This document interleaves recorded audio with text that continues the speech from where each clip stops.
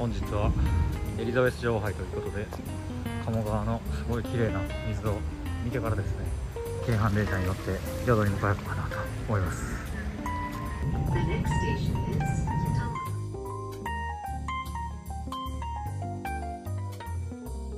おはようございます。YouTube 始めましてもう第5回ですかね。一応 G1 縛りで大勝負かけてるつもりではありますがちょっとね自分のスタイル的にはやっぱ平場のベストバイとかベターバイでぶち抜きたいなっていう思いもあるんでそれ平場だともう全然適正の差とかでぶっこ抜いちゃったりですね。能力差であの最近全然活躍してないけどあの能力差あの隠し持ってるみたいなのが結構いますんでそういうところ狙った方が馬券的には美味しいということでもう5年ぐらいベストバイっていうのを配信してるんですけどぱりそっちで行きたいなっていう気持ちはあるんですけどやっぱ YouTube ですからあの派手なところで行きたいなっていう気持ちもあって今日はサリエラムライアン・ムーアで勝負したいと思います。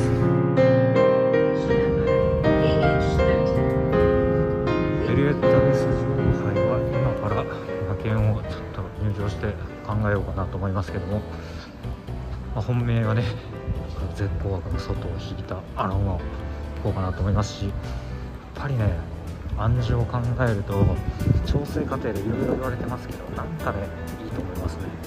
勝負気配を感じます。えー、天気ですわ。今 G1 日和ですね、まあ、ちょっとババ見ながら馬券組み立てたいなと思います。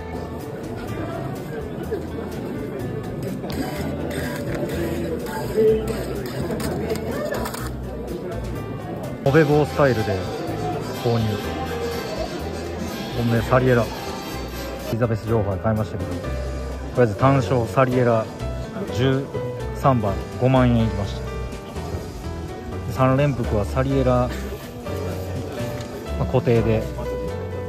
あとは「君の名はマリア」とか「ハーパー」とか「シンキレーション」とか。もう自分の印通り2列目に入れて。あとは見られ打ちで最後レガレイヤが来てしまったらっていう時の保険も3万円分買いましたんで。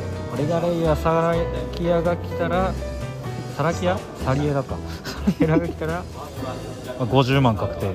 単勝来たら60万でこれで帯という。とんでもない馬券買ってしまいましたねこれ。我ながらアホやん。あありがとうございます。乗っていただいて。君の名割は買ってないですか？去年もサリエラ実は本命やったんですよ。これあのマーカンドの鬼のような内前有利馬場で大外分回しで6着っていう。結構辛い馬券やったんですけど、まあ、今回リベンジも兼ねて安城もライアン・ムーアに変わりましたからね。やってくれるんちゃうかな。ちょっと調子がどうとかっていう話ありますけど僕あんまボンドガールとかでもあんま気にしんかったんで積極的に行ってますね。外枠引けた。これ覚えてます？お姉ちゃんもオレンジ枠で来てるんですよ。で兄貴もオレンジ枠で来てますからなんかオレンジええやんありますよ。かもここ見てください。ラインオレンジ。当たりました。ガンガン飛ばすみんな。もっと飛ばしてくれ。意外とすんなりか。あんまあんま流れへんのかな。いやさせ豊か突き抜けろ豊か豊か豊かさせてくれ。豊かさせてくれ。させるさせる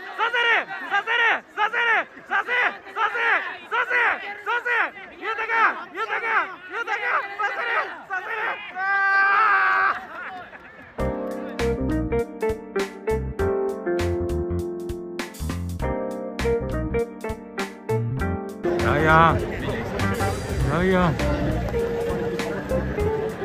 ライアン。なんか入れ込んでる？うわ暴れてるやんちょっと。あちょっとスムーズちゃうなこれ。いけるか。気をつけ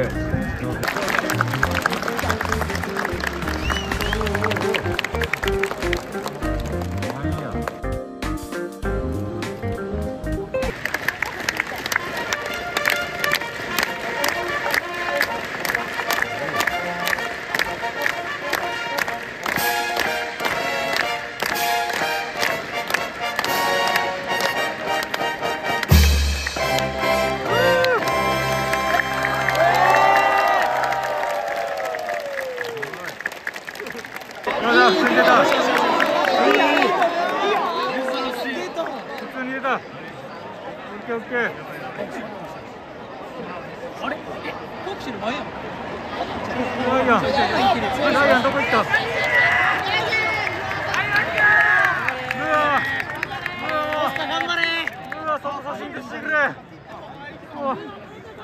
やろあれいやーこれはどこおるんや後ろか7番も前詰まって動け後ろから3番目。あ去年と去年と同じような競馬やな。お前かライアンライアン動いて。松山あるぞ松山ライアン。ライアン。ライアン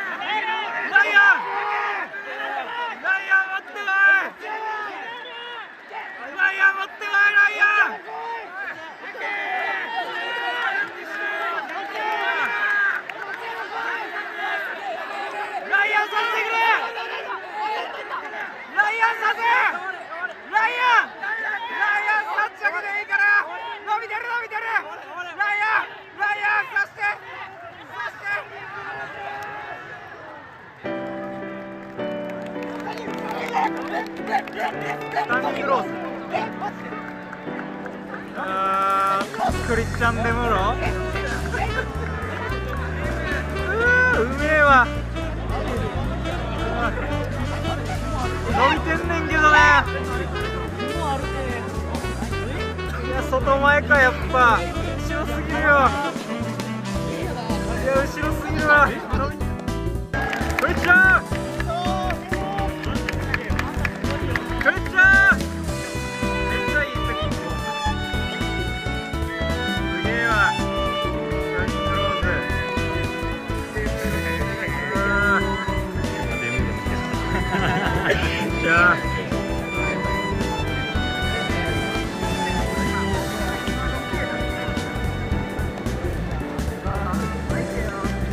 めっちゃかっこええわ。どんだけ勝つねん。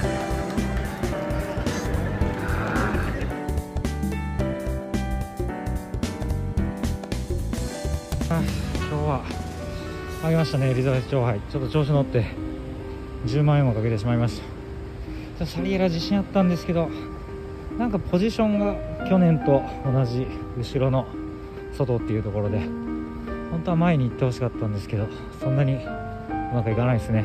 テオロイヤルのダイヤモンドステークスでテオロイヤルと叩き合ったあのポジションかなと思ってたんですけどちょっと切れ味勝負になって